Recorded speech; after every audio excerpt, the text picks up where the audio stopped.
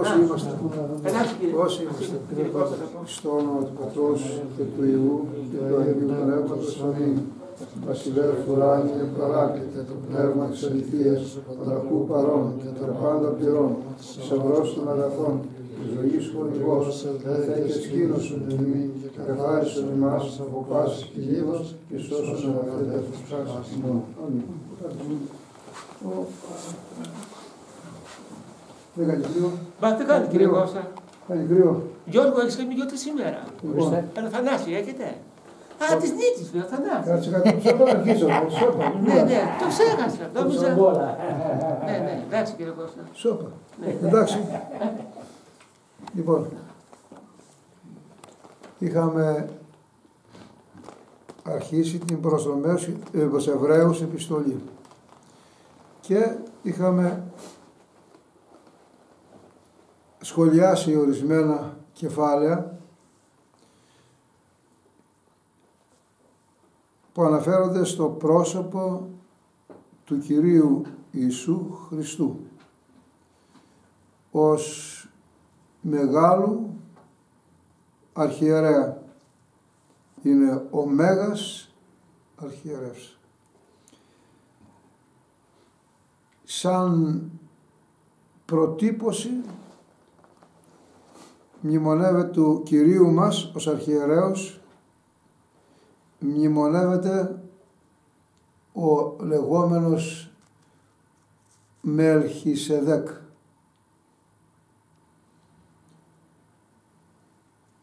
Πρόκειται για πρόσωπο, θα το επαναλάβω με λίγα λόγια, για πρόσωπο που δεν αναφέρεται η γέννησή του πότε, ούτε και ο θάνατός του. Ε, φέρεται ως μη, ως μη έχον αρχήν, μηδέ και τέλος. Και συμβολίζει τον, το πρόσωπο του Κυρίου μας Ιησού Χριστού. Ο Μωυσής είχε νομοθετήσει μέσα στο νόμο ε, ότι οι ιερείς πρέπει να κατάγονται από τη φυλή του Λεβί. Γι' αυτό και λέγονταν Λεβίτες. Μέχρι ότου παρουσιαστεί ο καινούριος αρχιερέας που θα είναι αυτός που προτύπωσε το πρόσωπο του Μερχισεδέκ. Να θυμίσω, για να το έχετε ενωπώ να το ξέρετε, για, για ορισμένους που δεν θυμώνται, όχι για όλους, γύριζε, γράφει στην Παλαιά Διαθήκη, ο Αβραάμ από μία μάχη, στην οποία αναδείχθηκε ο Αβραάμ νικητής. Και ήταν φορτωμένος με λάφυρα τα οποία είχε πάρει από τους ιτημένους. Στο δρόμο στην επιστροφή του συναντάει τον Αβραάμ, τον Μερχισεδέκ, συγγνώμη, τον Μερχισεδέκ και ενώ ο Αβραάμ φέρεται γενάρχης και στην Αγία Γραφή είναι το κεντρικό πρόσωπο που συμβολίζει τον παράδεισο εν τούτης ο Αβραάμ αυτό το πρώτο πρόσωπο μετά τον, μετά τον Κύριο θα λέγαμε από τα λάφυρα που είχε πάρει από τους ιτημένους εχθρούς του προσφέρει το ένα δέκατο. Του έδωσε ο Αβραάμ του Μερχισεδέκ το ένα δέκατο. κανονικά, κανονικά, το πω μια φορά, έπρεπε να γίνει το ανάποδο. Να προσφέρει ο Αβραάμ σαν ανώτερο, ο Μελχισεδέκ, ο Αβραάμ, να δεχθεί ο Αβραάμ σαν ανώτερος 10% λάφυρα από τον Μελχισεδέκ. Όπως το λέει και ο Απόστολος Παύλος, το έλατον υπό του μίζωνος ευλογείται. Δηλαδή ο μικρότερος δέχεται από τον, από τον ανώτερό του ευλογίες και όχι, και όχι ο ανώτερος να δεχτεί από το μικρότερο ευλογίες. Ανώτερος ο Αβραάμ, κατώτερος Μελισσεδέκ. Και προσφέρει ο ανώτερος στο κατώτερο. Γιατί μολεύει ο Απόστολος Παύλος ότι ο Μελχισεδέκ είναι το πρότυπο της αρχιεροσύνης του Κυρίου μας Ιησού Χριστού.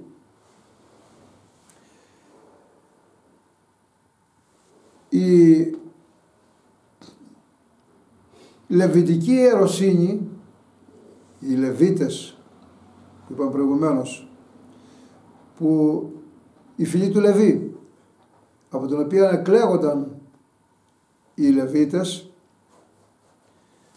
είχαν την ιεροσύνη σύμφωνα με τον νόμο που έφτιαξε ο Μωυσής. Και αναφέρει εδώ στην επιστολή Απόστολος Παύλος ότι οι Λεβίτες ήταν άνθρωποι. Ποια, κάποια στιγμή σαν άνθρωποι πεθαίνανε, τελειώνει λέει η ιεροσύνη. Έπρεπε να έρθει άλλος με ιεροσύνη που να είναι ακατάλητη να μην χάνει την ισχύ της ποτέ η ιεροσύνη αυτή. Η Λεβιτική ιεροσύνη, επαναλαμβάνω, ήταν ιεροσύνη θεσπισμένη με τον νόμο του, του Μωυσή και θα έφτανε μέχρι ένα χρονικό όριο. Το όριο που ήρθε ο Χριστός. Και λέγει ο Απόστολος Παύλος το εξής. Ε, ολοφάνερο λέει γίνεται ότι ήρθε κατά την ομοιότητα Μερχισεδέκ άλλος κατά την ομοιότητα Μερχισεδέκ ιερεύς έτερος λέει εδώ πέρα ο Απόστολος Παύλος. Ου κατά νόμων εντολής αρκικής γέγονε ο οποίος ιερεύς ή αρχιερεύς δεν είχε την ιεροσύνη με βάση το νόμο που έφτιαξε ο Μωυσής, νόμο εντολής αρκικής. Όχι, αλλά κατά δύναμη ζωής ακαταλήτου. Αλλά ε, ε, ήταν ιερεύς με βάση δύναμη που ισχύει στο διηνεκές στους αιώνας των αιώνων. Δεν καταλύεται ποτέ η ιεροσύνη αυτή δεν καταλύεται ποτέ. Από αυτή την ιεροσύνη του Κυρίου είχαν οι Απόστολοι, οι μεταγενέστεροι, οι παραπέρα, η διάδοχή τους μέχρι και τους σημερινούς. Η ιεροσύνη τους και η ιεροσύνη που, και η ιεροσύνη που υπάρχει είναι με βάση αυτή που λέει ο Απόστολος Παύλος ε, κατά δύναμη ζωής ακαταλήτου. Κατά δύναμη ζωής ακαταλήτου. Τέρμα δεν καταλύεται, δεν νικέται, ε, φτάνει στον ουρανό και έχει τη συνέχεια της εκεί. Η ιεροσύνη που έχουν οι ιερείς και η ιεροσύνη που έχουν οι αρχαίρεις μας. Γι' αυτό λέει έχουν επικοινωνία με το ουράνιο με το οποίο θυσιαστήριο. Και οι άξιοι κληρικοί συνεχίζουν την, τη λειτουργία τους εκεί πάνω οι άξιοι κληρικοί. Λοιπόν, σβήνει η μία λοιπόν ιεροσύνη που είχε δεσπίσει ο Μοσαϊκούς νόμος, σβήνει, τελειώνει στο πρόσωπο του Κυρίου μας και αρχίζει η άλλη. Η, η ιεροσύνη λέει του Μωυσή με βάση το νόμο γράφει εδώ τελείωσε, θα το εξηγήσω, τελείωσε δια το ασθενές και ανοφελές. Δια το ασθενές και ανοφελές, το λέω, θα το εξηγήσω. Δια το ασθενές ή δεν είχε δύναμη να προσφέρει σωτηρία στον άνθρωπο. Καμία. Ήταν αδύνατη το ασθενές. Και επομένως ήταν και ανοφελής μετά την παρουσία του Κυρίου μας Ιησού Χριστού. Και ανοφελής. Δεν μπορούσε ούτε να προσφέρει τη δύναμη να σώσει άνθρωπο, αλλά ούτε και να ωφελήσει. Με νόμο έγινε αυτή του Μωυσή. Με νόμο λέει του Μωυσή και το ονομάζει σαρκικής εντολής. Έτσι ονομάζεται νόμος του Μωυσή. Σαρκικής εντολής. Έπρεπε ο νόμος αυτός να αντικατασταθεί. Όχι λέει όμως πάλι με τον ίδιο τρόπο που να είναι ανθρώπινος ο νόμος αλλά να είναι θείος, ουράνιος που να έχει δύναμη ουράνια αιώνια, ακατάλητη στους αιώνας των Και το πρόσωπο που έφερε αυτή την άρχη ιεροσύνη και η ιεροσύνη παράδειλα είναι ο Κύριος ημών Ιησούς Χριστός. Αλλά επαναλαμβάνω θέσπισε το καινούριο νόμο. Στα εβραϊκά ο νόμος ο καινούριος λέγεται Μισπάτ. Καινούριος νόμος. Αλλά λέει και με όρκο δόθηκε ο νόμος αυτός. Με όρκο. Λέγει ο Δαβίδ στο πρόσωπο του Κυρίου. Σύ ιερεύς, σύ ιερεύς, σύ είσαι ιερεύς. Εις τον αιώνα χωρίς τέλος, κάθε την τάξη, Μυρχισέδακ και συνεχίζει. Αυτό τι είσαι ιερέας, το τι είσαι ιερέας εσύ Κύριε, όμως ε Κύριος και ού μεταμεληθήσετε, ο άλλος Κύριος, όχι ο Κύριος Ιησούς Χριστός, ο Πατέρας Κύριος. Γιατί λέει καπαλού, είπε ο Κύριος στο Κυρίο μου, αναφέρει δύο κυρίους. Είπε ο Κύριος, ο πατέρας, πατέρας Κύριος, με κεφαλαία γράμματα, το Κυρίο μου, λέει ο Δαβίδ, στον Κύριό μου, το Χριστό, κάθε δεξιόν μου, κάθε στα δεξιά μου. Εδώ λοιπόν, όμως ο πατέρας Κύριος και ού μεταμεληθήσετε, ορκίστηκε και η γνώμη του δεν παίρνεται πίσω. Δεν μεταμέλεται, δεν αλλάζει γνώμη ο Κύριος. Το ορκίστηκε, διάβαζα τον Άγιο Νικόδημο, τον Άγιο Ρίτη, το όμως ορκίστηκε, ορκίζεται ο Κύριος. Εμείς, για, πότε ορκιζόμαστε εμείς, για να το καταλάβουμε καλά, πότε ορκιζόμαστε. Όταν θέλουμε να βεβαιώσουμε κάποιον ότι αυτό που λέμε ισχύει και είναι αλήθεια. Και εδώ λέει χρησιμοποιεί ο Δαβίδ μέτρα ανθρώπινα για να, για να καταλαβαίνουμε το βέβαιο της ιεροσύνης του Κυρίου Ιησού Χριστού ότι είναι... δεν παίρνει πίσω την ιεροσύνη είναι σίγουρη είναι βέβαια όμως ε, δηλαδή σας βεβαιώνω το ορκίζομαι, το ορκίζομαι του Κυρίου σημαίνει σας βεβαιώνω ότι ο Κύριος Ιησούς Χριστός αλλάζει την ιεροσύνη του Μωυσή είναι αυτός ο αρχιερέας και ιερέας και αυτή η αρχιεροσύνη μένει στον αιώνα του αιώνος. Το διαβάζω. Όμως ο Κύριος και ού μεταμεληθήσετε. Ορκίστηκε ο Κύριος, ο Πατέρας. Και δεν παίρνει πίσω την ιεροσύνη γιατί εσύ είσαι ιερεύσεις στον αιώνα σύμφωνα με την τάξη του Μελχισέδεκ. Άλλος δεν είναι. Λοιπόν, με αυτή την ερωσύνη σημειώνει ο Δαβίδ τι, τι συμβαίνει; Συμβαίνει το εξής. σώζεται ο άνθρωπος με αυτή την ερωσύνη του Κυρίου που, με, που μετέδωσε στους διαδόχους του σώζεται ο άνθρωπος. Σώζεται το λέω ο άνθρωπος. Χωρίς ιεροσύνη δεν σώζεται. Είναι διαβολικό να πούμε ότι χωρίς ιεροσύνη σωζόμαστε. Το λέει εδώ. Λέει όθεν και σώζειν εις το παντελές δύναται. Όθεν και σώζει αφού προέρχεται από το Θεό Πατέρα ο ιερέας, ο αρχιερέας, ο Χριστός δηλαδή και κουβαλά την ερωσύνη με την ερωσύνη αυτή σώζει το ποιμνιό του που είμαστε εμείς από τότε που ήρθε ο Χριστός και μετά. Λέει, το παραλαμβάνω, δια το, μένει στον αιώνα απαράβατη η ερωσύνη του, δεν αλλάζει και σώζει εις το παντελές, εις τους αιώνας των αιώνων. Τελείωσε. Και τονίζω εκείνο που είπα και σε ένα κήρυγμά μου.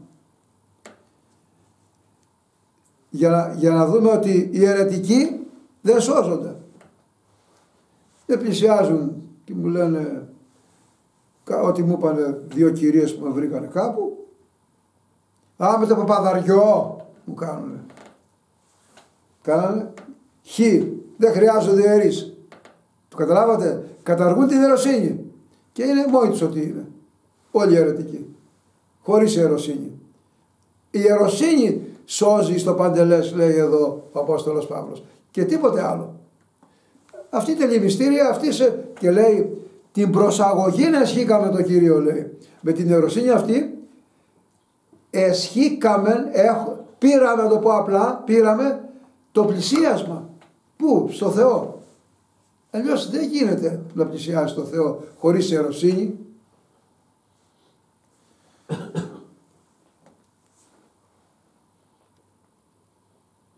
Και μάλιστα λέει με την ιεροσύνη αυτή πάντοτε ο ζών Κύριος υπερεντυχάνει δηλαδή σημαίνει ζητάει από τον πατέρα του κάνει ε, ε, ε, πώς θα πούμε πρόταση στον πατέρα για να μας προσλάβει εμάς ο πατέρας και επειδή έρχεται από ψηλά ο αρχιερέας, είναι Υιός του Θεού, είναι δημιουργός των αγγέλων, είναι δημιουργός του, του ουρανού και της γης. Γι' αυτό ακριβώς το λόγο και όχι μόνο αυτό, και όχι μόνο αυτό, αλλά λέει είναι ο αρχιερέας όσιος, άκακος, αμίαντος και χωρισμένος από τον αμαρτωλόν χωρίς να έχει καμία απολύτως αμαρτία Αλλιώς, άμα είναι αμαρτωλός, πώς θα σώσει; Αφού δεν μπορεί να σώσει, να σηκώσει τις δικές του αμαρτίες. Ο κύριος αναμάρτητος, αρχιερέας, μεσητεύει, σώζει. Μεσητεύει, σώζει. Και συνεχίζω για να τα ακούσουμε. Κεφάλαιον δε επί της λεγόμενης κεφάλαιον. Λέει συμπέρασμα σε αυτά που μόλις είπαμε τώρα εμείς συμπέρασμα. Είναι τούτο. Τι ούτων έχουμε αρχιερέα. Όπως το περιγράψαμε έχουμε αρχιερέα το πρόσωπο του Κυρίου ο οποίος αρχιερέας εκάθισε εν δεξιά του θρόνου της μεγαλοσύνης και της ουρανής αυτός ο αρχιερέας κάθισε στα δεξιά του θρόνου της μεγαλοσύνης. Να το προσέξουμε, από το θρόνο της μεγαλοσύνης ο πατέρα, ο Κύριος ημών του Χριστός ως Θεός ποτέ δεν απουσίασε. Γιατί είναι πανταχού παρόν. Ως Θεός ποτέ δεν απουσίασε. Αλλά ως άνθρωπος κάθισε στα δεξιά του θρόνου της μεγαλοσύνης του Θεού ως άνθρωπος. Και όταν μιλάμε δεξιά, ούτε λάβουμε πώς μας λέει και ο, ο Αγίου Νικόδημος ότι το δεξιά και αριστερά εσύ για να καταλαβαίνουμε εμείς. Δεν υπάρχει δεξιά και αριστερά του Πατέρα, αφού είναι πανταχού παρόν και είναι πνεύμα ο Θεός και με πνεύμα του προσκυνείς, τον προσκυνάς όπου κι αν είσαι. Αυτό το λέει για να δείξει την τιμή που πήρε ο άνθρωπος που τον ανέβασε ο, ο Κύριος μας σαν Θεός που πήρε τη σάρκα στα δεξιά του πατέρα του. Την τιμή που πήρε. Πόση μεγάλη τιμή έδωσε ο Κύριος Ιησούς Χριστός στον άνθρωπο όταν τον ανέβασε σαν ανθρώπινο σώμα στα δεξιά του πατέρα του. Ε, και συνεχίζει για τον Κύριο ως αρχιερέα. Να τα ακούσουμε να το καταλάβουμε. Αυτός ο αρχιερέας που ανέβηκε σαν άνθρωπος, τον ανέβασε ο Κύριος μας, σαν Θεός τον άνθρωπο στα δεξιά και όταν και κάθισε, είναι, είναι, είναι των Αγίων Λειτουργός. Αυτός είναι ο προεστός που λειτουργεί στο ουράνιο θυσιαστήριο των Αγίων. Των Αγίων λειτουργός. Και της σκηνής της αληθινής.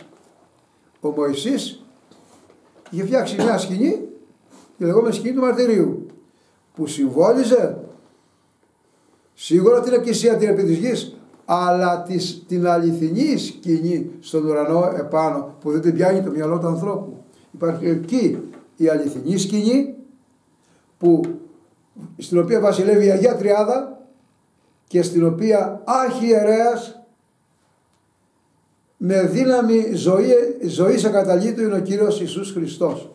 Ο Ιησούς Χριστός τον ονομάζει εδώ τον Αγίον Λειτουργό. Χωρί, από εκεί αντρούν οι ιερείς. Και έλεγα και χθες, μάλλον χθες το έλεγα, λέει ο ιερέας που τελεί, ο, ο αντιπρόσωπός μας, ιερεύς, ο άνθρωπος που τελεί Θεία Λειτουργία, γράφει ο Χρυσόστομος, την ώρα που ευλογεί το σώμα και το ίνο πιάνοντας τα χέρια, εκείνη ακριβώς την ώρα που το ευλογεί, δανείζει ο ιερέας τα χέρια λέει στο Θεό και με τα χέρια του ιερέα που τα κρατάει ο Θεός ευλογεί τα τίμια δώρα. Ο Θεός ο ίδιος. Του γράφει ο Όρος Χρυσόστομος. Και τη γλώσσα του λέει δανείζει που απαγγέλει τις ευχές. Γιατί αλλιώς δεν μπορούμε εμείς να συλλάβουμε το θείον, να το βλέπουμε, δεν αντέχουμε να ευλογεί τα τιμία δώρα. Γι' αυτό κάνει αυτή τη μεγάλη παραχώρηση να έχουμε τον ιερέα να ευλογεί γιατί το θέλει ο Κύριος και γιατί ευλογεί ο Κύριος. Γι' αυτό είναι σώμα και αίμα Κυρίου. Με βάση λοιπόν αυτή την αρχαιροσύνη τελείται η κάτω ιεροσύνη και τα Θεία Μυστήρια όλα. Όλα. Όσοι καταργούν την ιεροσύνη και λένε ότι εμείς είμαστε ευαγγελικοί πέρα για πέρα έξω από το Ευαγγέλιο είναι. Από τι καταλαβαίνετε. Άλλα λέει η Γραφή, άλλα λέει η λογική τους και άλλα κάνουν. Να μην συζητάνε και να λένε ότι εμείς ε, ε, ερμηνεύουμε το Ευαγγέλιο. Όχι, ερμηνεύουν αυτό που του λέει ο διάβολος. Γιατί χωρίς ερωσύνη σωτηρία δεν υπάρχει, τελείωσε. Και καλά έλεγε ο Άγιος Αμβρόσιος, αν θυμάμαι καλά, επίσκοπος Μεδιολάνου, έξτρα εγκλέσια non salus est, θα το εξηγήσω. Έξω από την εκκλησία δεν υπάρχει σωτηρία. Έξω από την εκκλησία δεν υπάρχει σωτηρία. Τι να κάνω λέει Κύριε, ρωτάει ο Νικόδημος που πήγε νύχτα στον Χριστό για να σωθώ. Και του λέει άμα δεν γεννηθείς εξίδατος και πνεύματος με άλλα λόγια άμα δεν σε βάλουν στην κολυμβίδρα μέσα να σε βαφτίσουν να κατέβει το πνεύμα το Άγιον κολυμβίδρα και το νερό να κατέβει το πνεύμα το Άγιον που δει να σε σωθήνε δεν μπορείς να σωθείς Ε, πού αυτά θα τα βρεις; Με την εκκλησία που έχει τους αντιπροσώπους. Πουθενά αλλού. Πουθενά αλλού. Γι' αυτό λέει Παπαδαριό χ, άντε να πας, να πας στο παράδεισο. Πώς θα πας στο παράδεισο; Έχουμε λοιπόν το Κύριο, το, το, το, το, λέω, το διαβάζω άλλη μια φορά γιατί μου έχουν κάτσει πολύ όμορφα αυτά εδώ πέρα. Μ' αρέσει να τα ακούω πολλές φορές. Λέγει «Τι ούτων έχομεν αρχιερέα του Χριστό, όσε κάθισε, ο οποίος κάθισε εν δεξιά του θρόνου της μεγαλοσύνης, στα δεξιά του θρόνου της μεγαλοσύνης του πατέρα του. Και συνεχίζει τον Αγίων λειτουργός, είναι λειτουργός των Αγίων και της σκηνής της αληθινής και τονίζει για τη σκηνή αυτή και λέει είναι έπηξεν την οποία έστησε όχι ο Μωυσής αλλά ο Κύριος με κεφαλαίο ο πατέρας του. Την έστησε την ε, σκηνή αυτή στην οποία λειτουργεί ο Κύριος ο άλλος Κύριος ο πατέρας του είναι έπαιξε ο Κύριος. Έχουμε εμείς αυτή. αυτή σε αυτή περιμένουμε να πάμε να λειτουργηθούμε. Εδώ είναι ο πρόλογος η είσοδος για να μπούμε στην εκκλησία την άλλη. Αυτή εδώ η εκκλησία μας εισαγάγει στην άλλη εκκλησία, στην Άνω Ιερουσαλήμ όπως λέμε. Γιατί λέει είναι ανάγκη να υπάρχει ο, ο, ο ιερέας. Καλά, ο αρχιερέας Χριστός μας δείχνει ότι είναι ανάγκη. Αλλά η εδώ γίνεται η προσαγωγή, το καταλαμβάνω, για την Άνω, για τη βασιλεία, τη βασιλεία του Θεού. Λοιπόν, σε αυτή εδώ την ε, εκκλησία μέσα που τελεί τη Θεία Λειτουργία προσφέρουμε τη μία δώρα. Άρτο, πρόσφορο και ίνο. Ε, γιατί, και, τα δίνουμε αυτά λέει, στον ιερέα για να τελέσει λέει το μυστήριο, τη θυσία για να λάβει και αυτός ο ιερέας άφεση αμαρτιών και εμείς. Γιατί και αυτός είναι αμαρτωλός και εμείς, είναι, και εμείς είμαστε αμαρτωλοί. Πως κάνω λάθος Σταύρο. Όλοι. Ουδής αναμάρτητος. Η μισή ο δυνάμενος. Λέει μόνος είσαι αναμάρτητος Κύριε και προσφέρει τα δώρα υπέρ εαυτού για τον εαυτό του και του εκκλησιάσματος όλου, όλων των πιστών όλων των πιστών για να έρθει έτσι ενωμένοι να οδηγηθούμε στην άλλο βασιλεία στη σκηνή την αληθινή. Είναι έπαιξε ο Κύριος. Στη σκηνή την αληθινή που την έστησε ο Κύριος ο ίδιος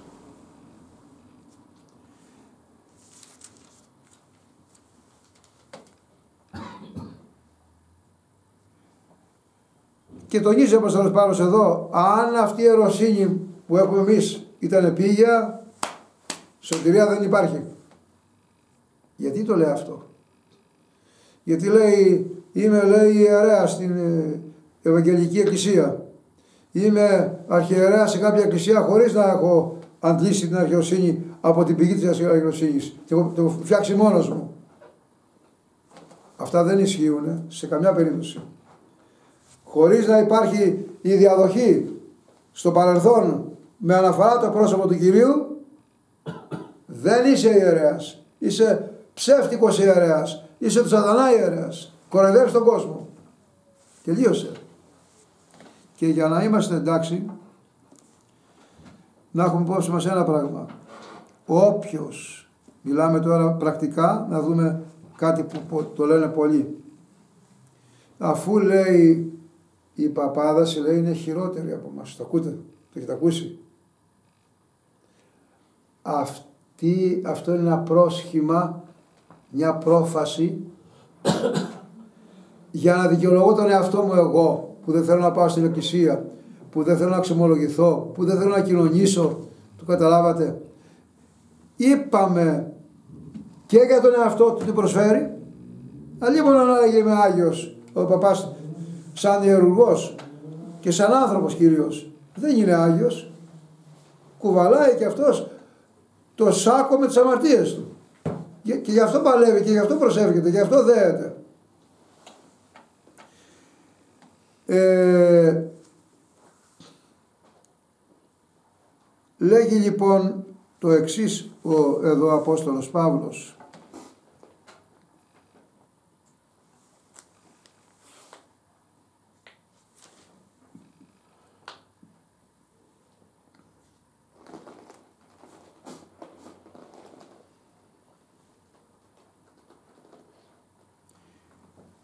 ότι η νέα ιεροσύνη που θέσπισε, που έφερε ο Κύριος στη γη, προϋποθέτει και νέα εποχή, να το πούμε έτσι, καινή εποχή, καινούρια. Καινούρια εποχή, αφού έχουμε καινή διαθήκη. Έχουμε καινή διαθήκη. Προϋποθέτει και καινούριους ανθρώπους καινούριες καρδιές. Θα σας αλλάξω, λέει ο Κύριος, τις καρδιές, τις άρκινες και θα σας δώσω αληθινές καρδιές. Αν δεχθείτε το νόμο που εγώ σας δίνω, τη Γενή Διαθήκη. Μόνο με βάση αυτή την ε, προϋπόθεση, τότε Ιδού έρχονται ημέρε, έρχονται ημέρες, λέγει Κύριος, και συντελέσω επί των οίκων Ισραήλ και θα κάνω στον οίκον Ισραήλ προσοχή. Ο Απόστολος Παύλος λέει οι Ισραηλίτες δεν είναι αυτοί που σταύρωσαν τον Χριστό. Δεν είναι αυτοί που φέρουν την καταγωγή από τον Ισραήλ.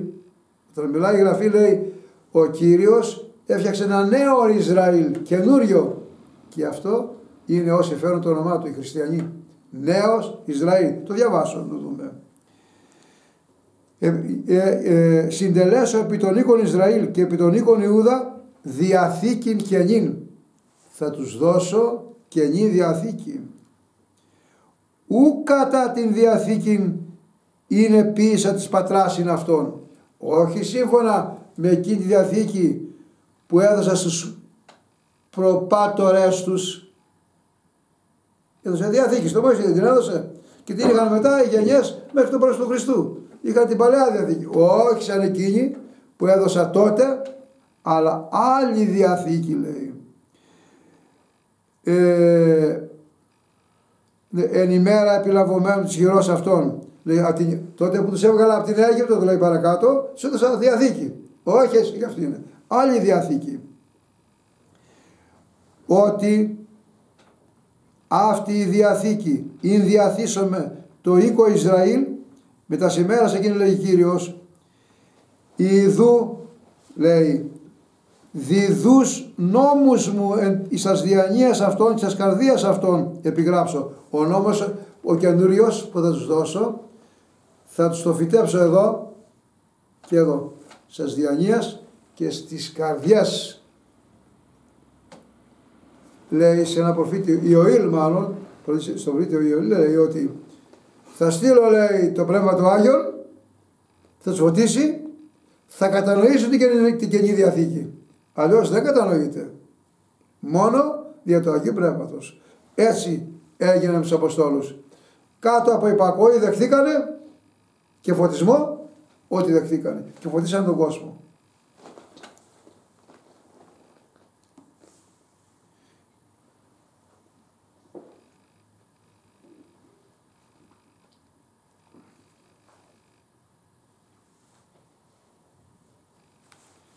να δούμε και την ώρα. Μάλιστα. Να συνοψίσω. Ο Μωυσής έλαβε εντολή και έφτιαξε ναό. Μία σκηνή που χρησιμεύε ως ναός όταν βγήκαν από την Αίγυπτο. Και εκεί σε όλη την πορεία μέχρι τα Ιεροσόλυμα λάτρευαν το Θεό.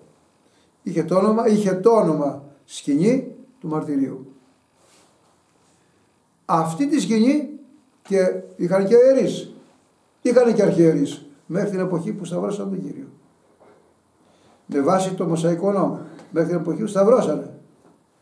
Μετά δεν θα βρούμε, κοιτάξτε να δείτε, λέει, ήγαγον τον Ιησούν, οδήγησε τον Χριστό από τον Άννα στον Καϊάφα. Ήσαν γάρα και ο Ιης, λέει και η Καινή Διαθήκη λέει. Ο Άννας και ο Καϊάφας ήσαν αρχιερείς της Παλαιάς Διαθήκης. Τελειώσανε. Σταυρώσαν τον Κυρίο, αναστήθηκε, αναλήφθηκε, τέλος. Δεν βλέπω πουθενά μετά, πουθενά. Ούτε ιεροσύνη, ούτε αρχιεροσύνη. Ε, ακούμε ραβίνος. Δηλαδή δάσκαλος. Δεν υπάρχει, δεν υπάρχει, καταργήθηκε. Το βλέπουμε πρακτικά ότι καταργήθηκε η ιεροσύνη και η αρχιεροσύνη των Εβραίων. Και ήρθε η άλλη του Κυρίου μας. Ούτε και ναός. Ε, και ο ναός, με άσε να το πω, η σκηνή του μαρτυρίου πήρε το τέλος της. Καταργείται. Τελείωσε.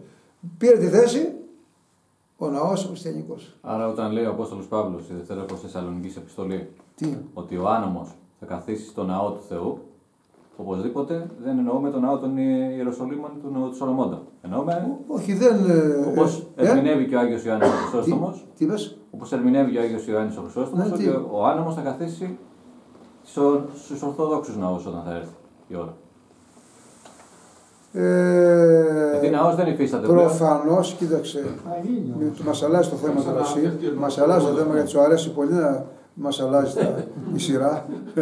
λοιπόν, ε, προφανώς εννοεί και τον άνομο που θα καθίσει στο ναό του Σολομώντα.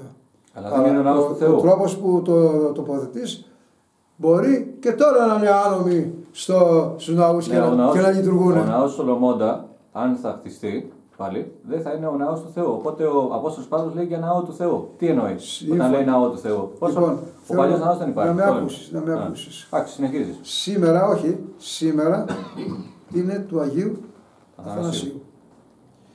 Εκεί στη βιογραφία του Αγίου Αθανασίου λέει για 40 χρόνια πέρασε μπόρα η Εκκλησία από τον Άριο.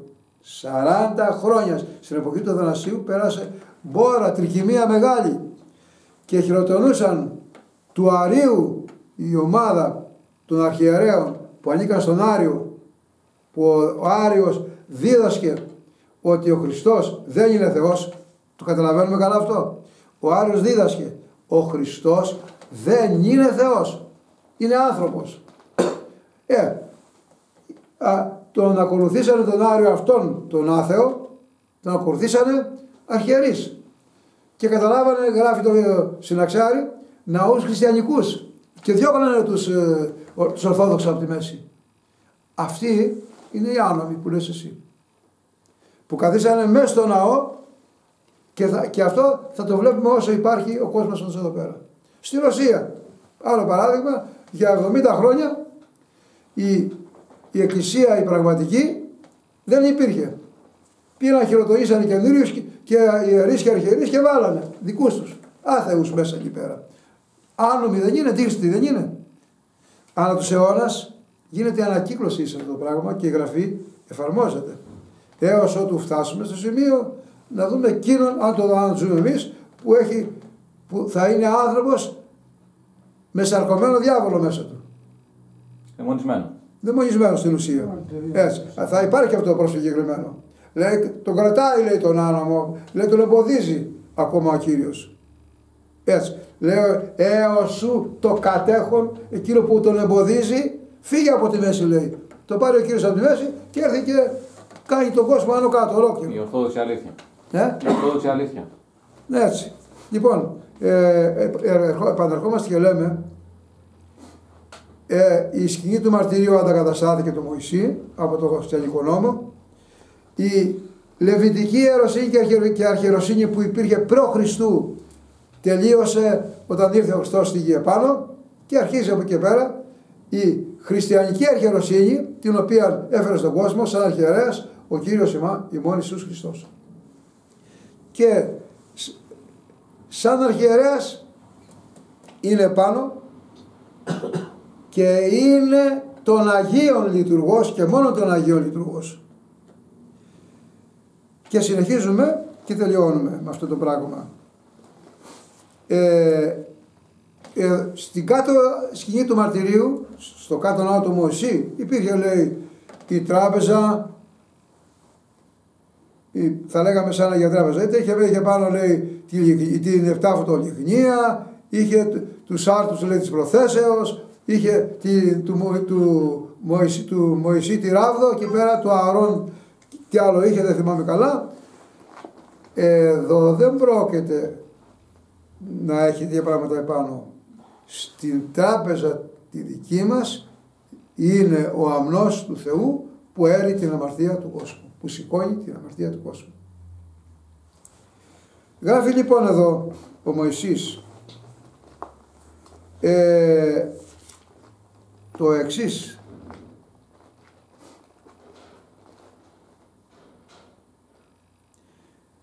όλα όσα υπήρχαν λέει στην τράπεζα τη Μοσαϊκή τη- που ήταν στη σκηνή του μαρτυρίου το λέει εδώ με εδώ πέρα ήταν υποδείγματα σύμβολα σε εκείνα που πρό- πρόκειται να έρθουν τα οποία θα υπεδείκνυε ο Κύριος ημών Ιησούς Χριστός. Σύμβολα.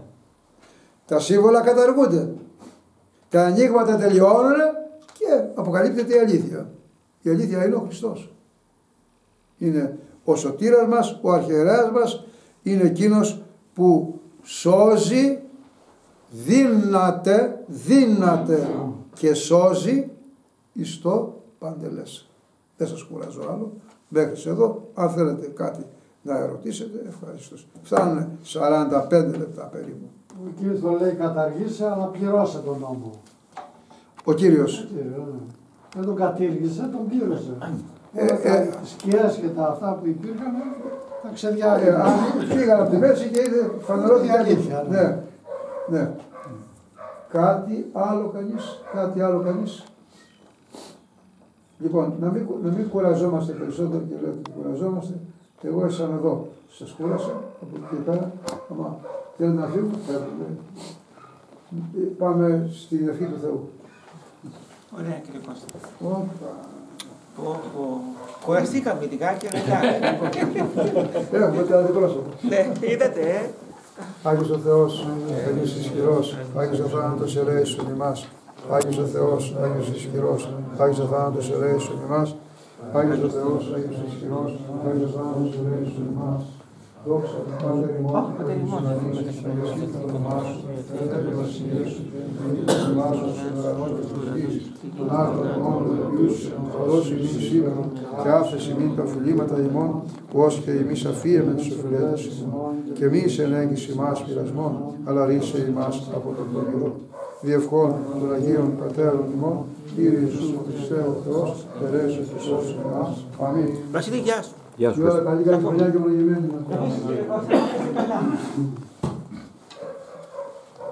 Δεν το πας ακόμα γόνια, ε.